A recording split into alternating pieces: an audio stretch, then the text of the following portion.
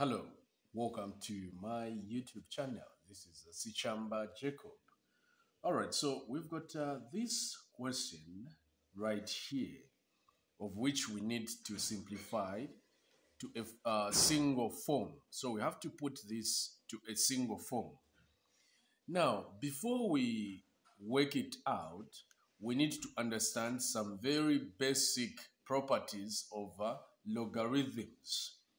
So when you've got, uh, let's say you've got uh, b log of a. So using the property of logs, this can be written as a log a or log of a power b. So whatever is here must become a power like it is right here. So this is very, it's a very, very important property that we must stick to. So we shall call this as our property one. Okay, remember we will just talk about two properties that we must use in order for us to answer this. Always remember, if you've got something in front of the log, that thing must become a power. Okay. Property number two will be, so let's say two will be when you've got log of A minus log over B. This will simply give us uh, log over A divide, okay, by log over B. So minus always changes to division, okay? That's how it is in uh, logs. So whatever is here must be the, the, the divisor, okay? So once you write it like this, you can simplify it. You say log of A over over b. Like that.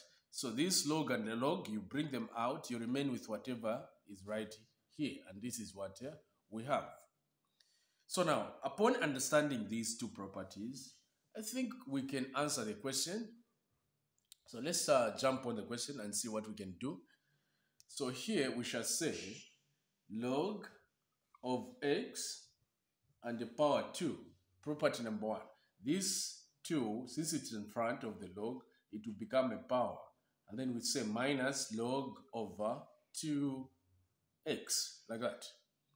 So using the property number 2, this will be log of x. I know this is power 2, even if you don't put the brackets, because uh, this will simplify. It's a log of x power 2 over log over 2x, like that. So now from here, we can say log outside, we are simplifying, open bracket, x power 2 over 2x, like that, okay? And now here we can say log of x over a 2, like that. This is our, our solution. We know that uh, this x into x1 into x power 2, it's just x. And this is what uh, we have. Thank you so much for watching. Please remember to subscribe, like the video, and leave a comment in the comment section below.